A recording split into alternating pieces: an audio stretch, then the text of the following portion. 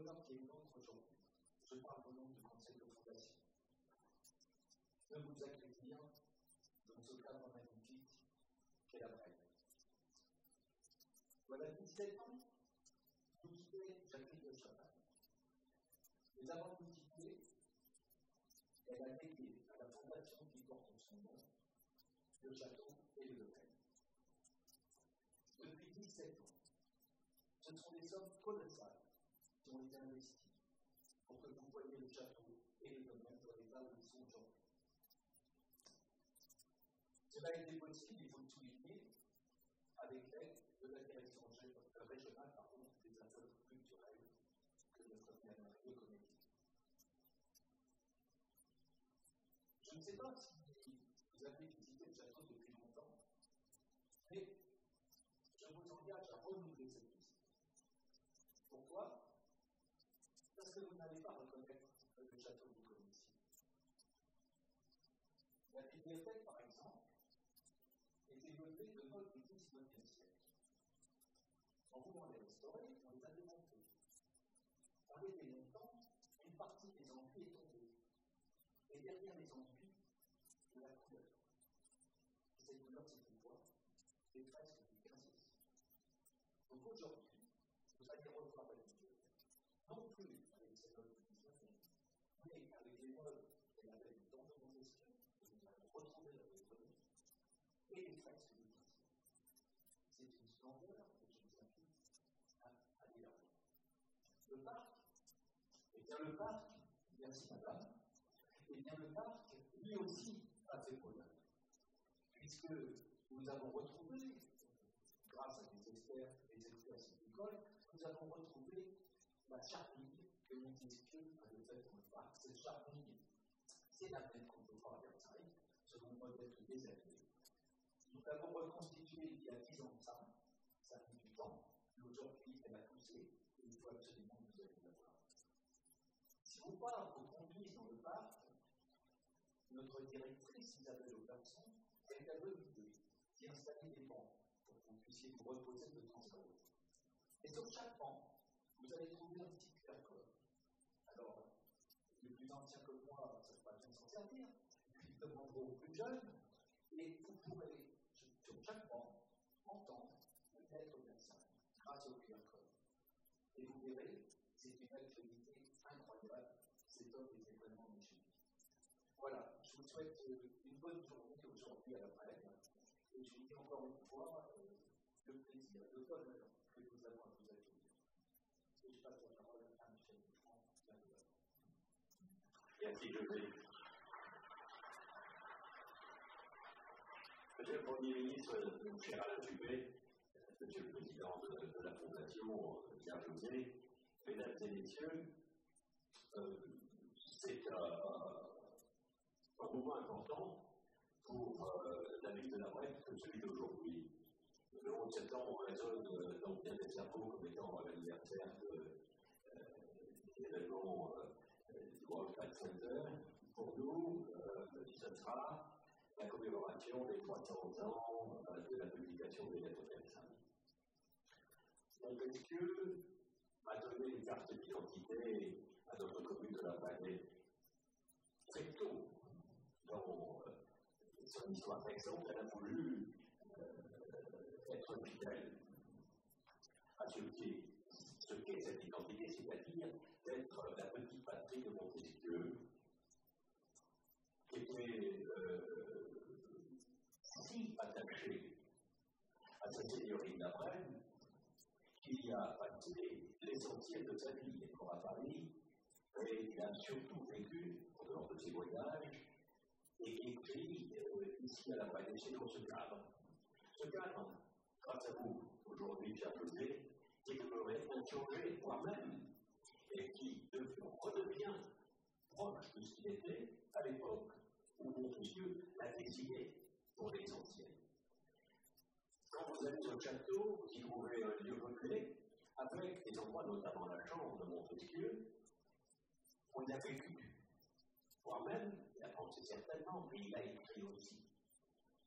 Aujourd'hui, si vous vous promenez dans ce lieu, à l'extérieur, vous allez retrouver le décor que Montesquieu avait euh, aménagé. Son esprit est donc ici, incontestablement. Être personne, le premier des ouvrages les plus importants de Montesquieu qui fait connaître au grand public, a été marqué par des vicissitudes. Au départ, et lorsque euh, il n'a pas été possible, parce que l'état de la situation politique ne le permettait pas à l'époque, la censure. S'y opposait, elle s'est sous la régence. Et Montesquieu a dû publier à l'étranger son nom d'auteur, Donc la question de la liberté de s'exprimer, la liberté de penser et la liberté d'exprimer sa pensée est à l'origine, en définitive, de l'œuvre de Montesquieu. Il était naturel que nous choisissions ce terme de la liberté d'expression comme fil conducteur de cette édition des, des journées de reine. Ces journées de reine, ce sont trois jours de septembre où nous essayons d'abord de rappeler que la vraie patrie de Montesquieu, mais aussi euh, de nous attacher à, à partir de, de l'œuvre de Montesquieu à développer euh, d'une manière simple, la plus simple et la plus accessible possible, accessible pour tout le monde, des sujets importants à notre condition de citoyen. Euh, la liberté d'expression me paraît si évidente. En fait, ne l'est pas tant que ça. D'abord parce qu'elle est objectivement agressée. Cette année a été l'année de l'assassinat de Samuel Paty, personne ne l'oublie. Cette année est l'année de la reconquête de Kaboul par les talibans. Tout le monde le sait. Cette année est aussi le 20e anniversaire, je l'ai dit tout à l'heure, de l'attentat du World Trade Center, avec tout ce que ça pouvait signifier. Comme message qui était adressé aux sociétés occidentales. Donc, la liberté d'expression, depuis 20 ans, les choses sont venues, euh, sans doute, l'interroger. Les évolutions de la technique, nous le verrons. L'évolution de la pensée commune également. Je ne vais pas déplorer les différents sujets qui sont traités par euh, les personnalités éminentes et que nous avons su réunir au château d'après composé de deux jours. Vous avez euh, à votre disposition le programme de ces journées. Mais c'est un thème qui mérite réflexion, qui mérite intérêt et qui mérite d'être euh, ici ouvert à un public qui n'est pas un public spécialiste, mais qui est finalement le public de monsieur tout le monde. Parce que ce sont des sujets qui intéressent les citoyens que nous et aussi les citoyens en herbe. Je vois quelques enfants ici, et vendredi été consacré euh, aux enfants qui sont venus euh, au château pour visiter les lieux, pour visiter le château du Bac également, euh, pour écrire, composer peut-être, mais en tout cas écrire sous la dictée, sous la dictée des personnes. On leur a ouvert également la possibilité de concourir à un concours de dessin, un concours de photos sur ce sujet-là. Donc c'est finalement euh, l'ensemble des Brédoises et des bien sûr, mais aussi euh, de toutes les personnes qui ont pu être euh, atteintes par ce programme, par ce message, de venir ici pour partager avec nous nos réflexions. Je voudrais remercier Alain Juppé d'avoir accepté de parrainer cette émission. Euh, Alain Juppé, personne n'a besoin de se présenter, chacun sait ici qui il est et ce qu'il a fait. Peut-être que, euh, si on connaît bien euh, l'homme politique, l'homme d'État surtout, euh, on connaît moins le lettré, l'homme de lettres, l'auteur et l'écrivain, et les différents sujets qui ont pu inspirer sa plume. Et parmi ces sujets, il y a le personnage de Montesquieu qui a fait un livre, Montesquieu le moderne, à travers lequel Et en le, on est également là-dessus, Montesquieu, il a pu dire combien cette pensée était toujours d'actualité et qu'elle traçait encore des perspectives pour la construction d'une société moderne, c'est-à-dire une société d'hommes libres, au sein desquels les uns et les autres sachent se respecter. Donc je remercie la d'avoir accepté de parrainer cette édition de sa notoriété, de son autorité, et probablement avec des mots qui va maintenant euh, nous donner en prémisse des interventions auxquelles j'espère vous allez assister très nombreux, allez dire petit à petit, petit à petit, les choses vont se faire et qu'on va trouver très rapidement retrouver l'esprit de convivialité qui prévaut toujours à ces journées de la fête. Je vous remercie. La parole est à Claudia de Juppé.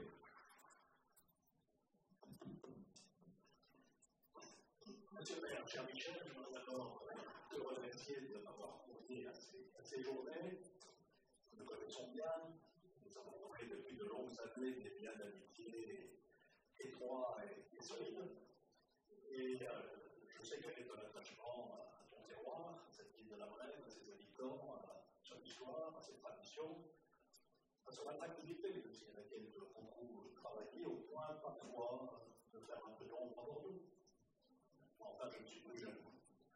Je voudrais aussi euh, saluer le travail de la Fondation, M. le Président, l'esprit de Mme de Chavannes, a consacré beaucoup de moyens, mais aussi beaucoup d'énergie et d'enthousiasme à la rénovation de ce château et de ce domaine. Euh, vous avez choisi ce thème de liberté d'expression pour les 300 ans des personnes. Je vais m'en remettre aux, spécialistes qui vont se succéder, parce que même si j'ai écrit un modeste ouvrage sur Montesquieu, je ne prétends pas être un spécialiste. Pour parler de la genèse, de la portée actuelle de ce que je n'hésiterai pas à qualifier d'un chef-d'œuvre littéraire, philosophique et politique. Je voudrais simplement citer Voltaire Voltaire pas beaucoup Montesquieu, surtout par jalousie. Vous savez, Voltaire signait ses lettres par la formule écrelante, écrasons l'infâme. Et pour lui, l'infâme, c'était la religion, et même, soyons plus précis, l'Église catholique. Et bien, le 15 avril 1743, Voltaire, 20 ans après la première publication des lettres Versailles, écrit à Vauvenargues les mots suivants. La France fut d'abord livre de la lettre Versailles. Et dans cette direction, il rappelle le succès extraordinaire qu'a eu la publication de cet ouvrage. Montesquieu était quasiment inconnu auparavant, sauf au Parlement de Bordeaux, n'a pas été d'ailleurs un membre équivalent, puisqu'il a abandonné sa bout de quelques années, mais un succès national, européen, formidable. Et Voltaire fait l'éloge dans son dictionnaire philosophique, lettres Versailles, cet homme doit laisser publier, je le cite, ce livre léger, ingénieux et hardi, dans lequel il y a une lettre tout entière en faveur du suicide, une autre l'on trouve ses propres mots, si l'on suppose une radio, une autre où il est dit expressément que les évêques, et Voltaire cite Montesquieu, n'ont d'autre fonction que de dispenser d'accomplir la loi, une autre enfin il est dit que le pape est un magicien ne fait croire que trois ne qu'un, c'est la sacralité au passage, et que le pain que l'on mange n'est pas du pain. Voilà des affirmations qui sont certes le fait de deux étrangers, auxquels on peut pardonner leur ignorance ou leur incompréhension, mais c'est la main de Dieu qui tient la plume, son audace donc euh, reste extrême, ce qui explique les conditions de publication de l'ouvrage.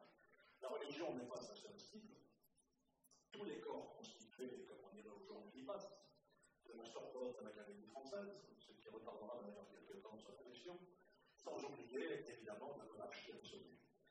Et on comprend euh, le conseil que l'auteur pourrait donner, ce n'est peut-être pas tout à fait vérifié sur le plan historique, à sa fille Denise, je cite, Fermez ce livre, mon enfant, c'est un ouvrage de ma jeunesse qui n'est pas fait pour la vôtre. Ces journées euh, sont pour moi euh, l'occasion d'exprimer, euh, je choisis ce mot à destin, la tendresse que j'éprouve pour Montesquieu. D'abord pour l'homme, qui ne mérite pas l'image un peu compassé que nous a laissé l'iconographie officielle. Son biographe Jean Starovinski écrit La gloire de Montesquieu s'est trop vite figée dans le marbre des bustes et dans le métal des détails. En fait, l'homme est curieux de tout. Vif, drôle, souvent, reste parfois, séducteur toujours, bref, vivant, habile de vivre, joyeux de vivre, devant les petites contrariétés de l'existence et capable de force et de courage face aux vraies coutures.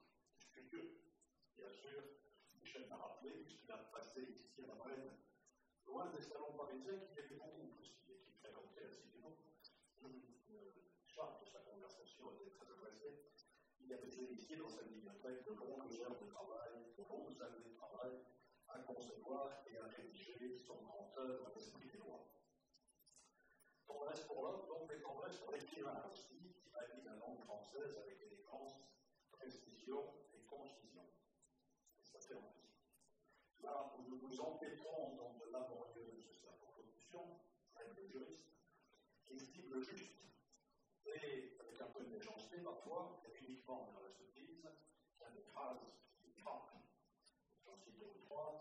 La gravité est le bouclier des sourds.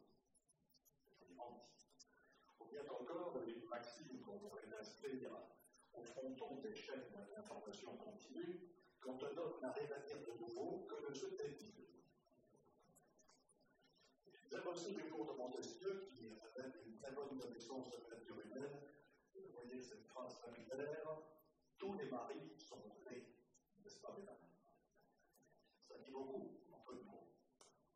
Mais ce qui donne à son œuvre toute sa puissance, sa modernité, je dirais même son actualité, c'est à la fois une passion et une vertu. La passion, et on tombe en plein dans le vif du sujet qu'évoquait Michel, c'est la passion de la liberté. Aron a écrit L'essence de la philosophie politique de Montesquieu, c'est la liberté. Je passe sur son libéralisme économique, je parle sur le contrôle de Philippe Sartine, qui a dire à John Desmarquez qu'il était le plus grand économiste français, celui qui est juste de comparer à Smith. C'est du peu. Il fait un effet du bon commerce, parce que c'est un homme d'affaires. Il est très attaché à sa production de vin, il se bat d'ailleurs avec la tendance pour étendre ses plantations, et puis il cherche à vendre. Et donc, il est une libre-échangiste, si je peux dire, sur le plan économique. Il a aussi la modération fiscale, le coût du travail, mais c'est un libéralisme que l'on qualifierait aujourd'hui peut-être de libéralisme social. Et parmi les phrases que j'ai lues à la fin de mon livre, il y en a une que j'aime particulièrement, c'est un peu longue, quelques aumônes que l'on fait à un homme nu dans les rues se pose aujourd'hui. Ne remplissent pas les obligations d'État, qui doit à tous les citoyens une subsistance assurée, la nourriture, un vêtement convenable et un genre de vie qui ne soit pas contraire à la santé. C'est un peu la sécu avant l'heure. Et c'est évidemment dans sa philosophie politique que la passion de la liberté de Montesquieu s'affirme avec le plus de force. Et en ce temps de confusion où nous voyons le mot de liberté fleurir un peu partout matin et soir, je voudrais rappeler la définition que Montesquieu donne de la liberté dans le chapitre 3 du livre 11 de des lois. C'est assez fort. Je cite La liberté politique ne consiste point à faire ce que l'on veut. Dans un État, c'est-à-dire dans une société où il y a des lois, la liberté ne peut consister qu'à vouloir faire ce que l'on doit vouloir et à mettre au point contraire, contraint pardon, de faire ce que l'on ne doit pas vouloir. Il faut se mettre dans l'esprit ce que c'est que l'indépendance et ce que c'est que la liberté. Je dirais la distance ou la liberté. La liberté et le droit de faire tout ce que les lois permettent. Et si un citoyen pouvait faire ce qu'elle défende, il n'aurait plus de liberté parce que les autres auraient tout de même ce pouvoir. La liberté, ça n'est pas la licence de faire tout ce qu'il plaît. L'exercice de la liberté ne me donne pas le droit de mettre la vie d'autrui en danger. Je n'irai pas plus loin parce que mon devoir me réserve devant le Conseil constitutionnel interdit de porter un jugement sur l'actualité immédiate. Je me référerai donc à la texte qui et notre pain quotidien au Conseil constitutionnel, la Déclaration des droits de l'homme et des citoyens de 1789, est dans la droite ligne de la philosophie régulière et de la pensée de Montesquieu, a inscrit cette définition de la liberté dans le marbre de ce qui constitue aujourd'hui le bloc de constitutionnalité sur lequel le Conseil constitutionnel est chargé de veiller. Je cite l'article 4 de cette déclaration La liberté consiste à pouvoir faire ce qui ne nuit pas à autrui. Ainsi, l'exercice des droits naturels de l'homme n'a de que celle qui assure aux autres membres de la société la jouissance de ces mêmes droits ces formes ne peuvent être déterminées que par la loi. Un surplus d'actualité. On retrouve ici le lien que Montesquieu établit entre la liberté et la loi. Ce qui soulève de mon point de vue l'autre question. Qu'est-ce que la loi?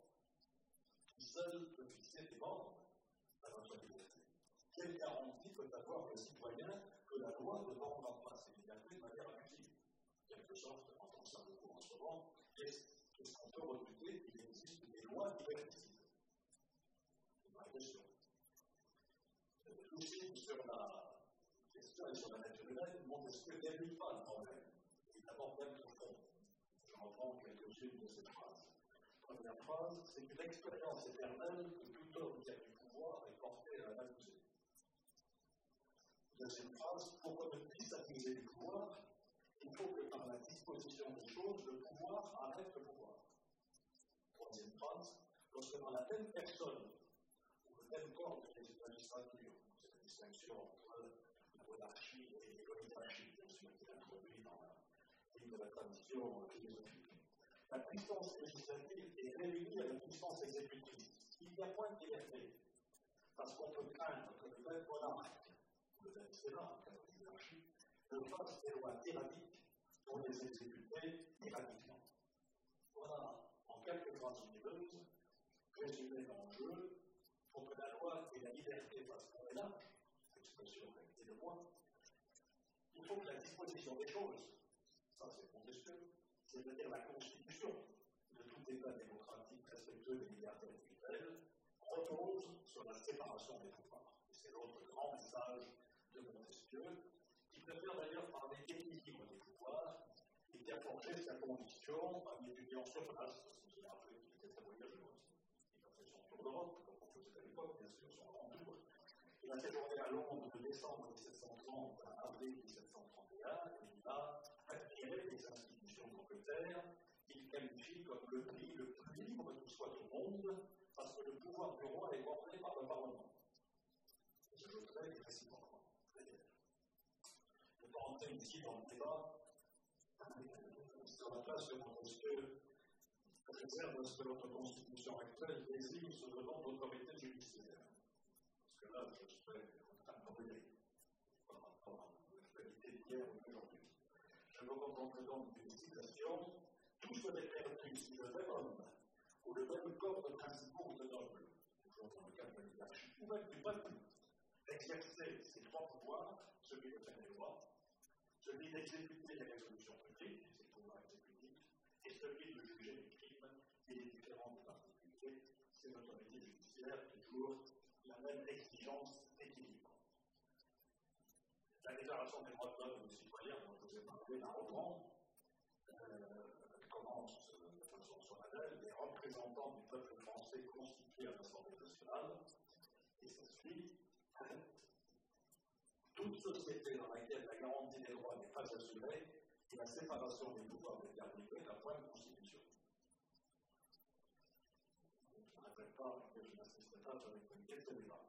La pandémie de Covid-19 et l'état d'urgence sanitaire institué pour la combattre ont remis la sauvegarde de la liberté à l'ordre du jour. Je ferai simplement deux remarques complémentaires. Outre la séparation des pouvoirs, la Constitution de notre République impose au législateur le respect des droits et libertés de la garantie. Et le rôle du Conseil constitutionnel, qui est chargé de faire respecter la séparation des pouvoirs entre le Parlement et le gouvernement, notamment. Donc le rôle du Conseil constitutionnel est aussi de s'assurer, soit sur saisine des soit sur la saisine de n'importe quel citoyen à l'occasion de n'importe quelle cause. Sous certaines conditions, bien sûr, une question prioritaire de constitutionnalité et le Conseil constitutionnel est alors amené à se prononcé sur la conformité de la loi aux droits et libertés que garantit le bloc de constitutionnalité, la Déclaration des droits de l'homme de 1789, le préambule de la Constitution de 1746, la Constitution de 58 et la Charte de l'environnement. Deuxième remarque, en fait aussi les décisions du Conseil constitutionnel, quand on fait un nul, s'imposent à toutes les autorités de la République, sans appel. C'est donc une institution clé dans l'équilibre des pouvoirs, ne sont pas un pouvoir, mais enfin le contrôle des droits et libertés fondamentales. La deuxième remarque, c'est pour constater que cette mécanique institutionnelle dont je viens de parler, qui a muté l'équilibre entre le pouvoir législatif, le pouvoir exécutif, l'autorité judiciaire, est aujourd'hui, et pas simplement en France, en train de se gripper.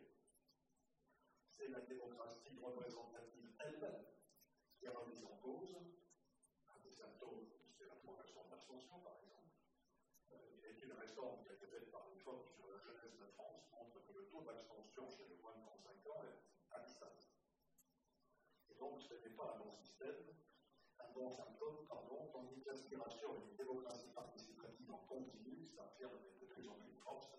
Voilà une évolution que les penseurs du siècle d'abord le despotisme et la monarchie absolue, ont à reconnaissance séculaire anticipée et un débat qui nous ramène au cœur de l'actualité politique. Montesquieu peut néanmoins, en ce domaine, nous revenir à tête. J'ai parlé tout à l'heure entre Montesquieu d'une passion et d'une vertu. Je vais passer par la passion, c'est la liberté. Sa vertu, qui me rend Montesquieu particulièrement aimable, pour reprendre cette terme au sens propre, c'est la vertu de modération.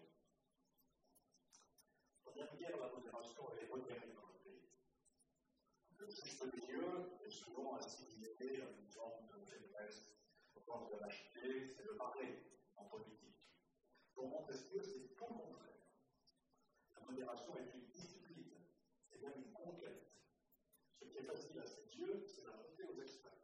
Et encore une belle citation. Ce qui fait que la plupart des gouvernements de la Terre sont despotiques. Ça, ça reste Écrit-il dans ses pensées, c'est qu'un pareil gouvernement, gouvernement despotique, saute aux yeux. Comme il ne faut que des passions violentes pour l'établir, tout le monde est bon pour cela. Et pour établir un gouvernement modéré, il faut combiner les puissances, les tempérer les. Et c'est ça la discipline la conquête. Voilà encore deux situations, je ne pas être trop long, qui nous parlent de modération et de modestie. C'est deux très belles phrases que c'est la fin de mon livre. Pour faire de grandes choses, il ne faut pas être un grand génie. Il ne faut pas être au-dessus des hommes, il faut être avec eux.